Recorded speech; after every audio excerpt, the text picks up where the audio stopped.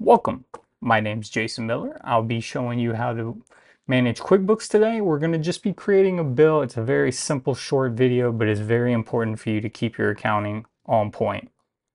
Let's begin. In QuickBooks Online, this is the dashboard. Obviously, I have my client's information all blurred out so that we're not sharing anything personal However, this is the dashboard that anybody is going to be seeing when they first enter QuickBooks. So what you're going to do, and by bill I mean an expense that you're going to have to pay at some point to one of your vendors. So what you want to do is you go over here to expenses, bills, add a bill, create a bill, okay? And I don't know what this is. This is autofill from file. I've never used this. As you can see, it's in the beta version. So we're just going to X out of that for now. And then you're going to go to vendor, add new. And this is where you can put all the information for your vendor in here. So in this particular situation, we're just going to call it Jason Miller CPA. And it's going to show the vendor display name. We can put the name. This is going to be Jason Miller, the email, Jason Miller CPA1 at gmail.com. You can put a phone number. I'm not going to put mine for obvious reasons, but name the print on checks. You can also put an address. So we'll just put 123 ABC Street, and I live in Miami, Florida, 33180. And you can put your country information. You can add notes. Here we can add attachments. This is where I like to include a, like a W-4 for the client so that you have the EIN number, all of their personal information, their address, the name, because sometimes companies may have a DBA where they're doing business as a different company.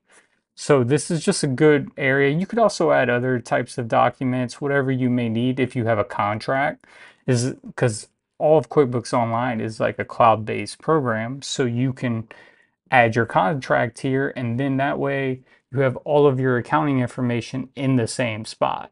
So you can go in here and look at a contract, look at the details between you and that particular vendor. Here you can put the ACH information, their bank account number, the routing number. I'm going to leave this blank because you don't have to have this information. This is where you put the business ID or the social security number. And the best thing about QuickBooks is you can click this little box here and it says track payments for 1099.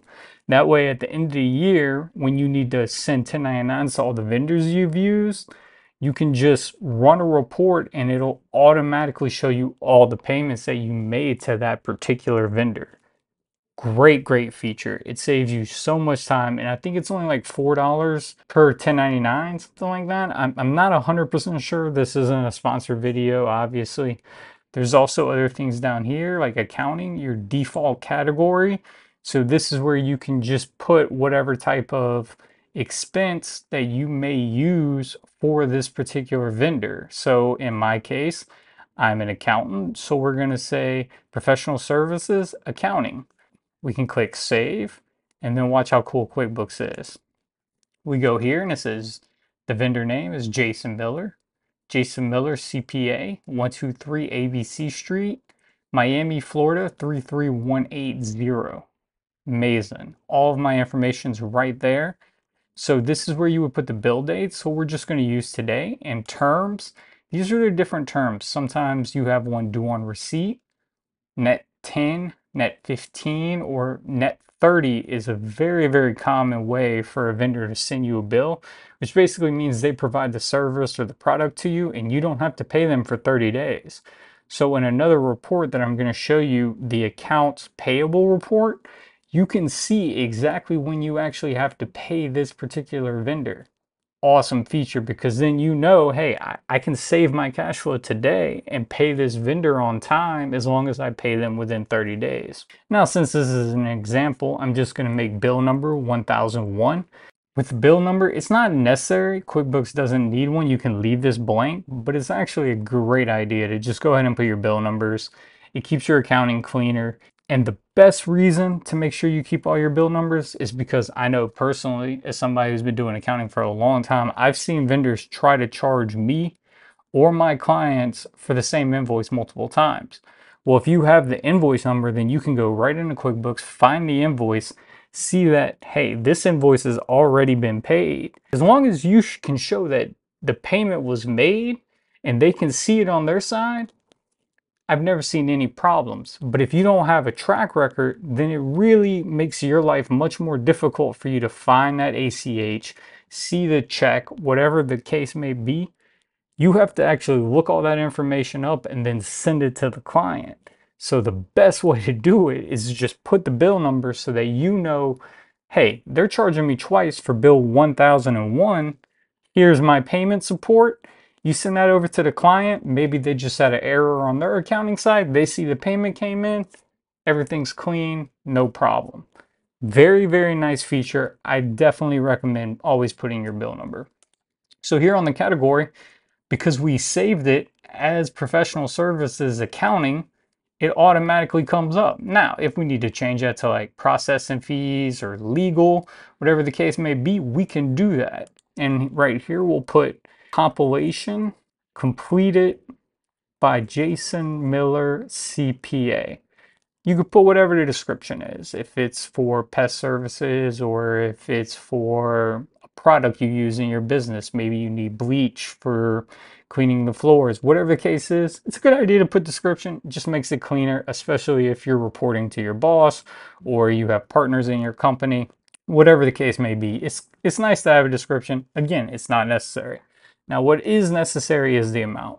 So for here, we're gonna put $2,000 and it automatically shows up here as balance due $2,000. And this is basically it. Upload from device. This is where you put attachments. I highly, highly recommend to always upload the invoice. Since this is just a tutorial video, I don't have an invoice that I can upload, but you just click on upload and then boom. Here's all your downloads, your desktop, We'll put my business card, boom. Saves the business card, and then save and close. Bill was saved. So then we go to expenses, vendors. We can search for Jason Miller, CPA. There we are, right there. Pulls me up. Hide that. There's the bill. Invoice number 1001. The payee is Jason Miller for $2,000. Professional fees, accounting services and we know it's due in 30 days so we can schedule a payment. And that's it. That's how you make a bill for any type of expense you may have. It's a really really simple system and i highly recommend you try using it. Thanks for watching my video. Like and subscribe if you like this content. I will be doing a complete series and we'll see you again soon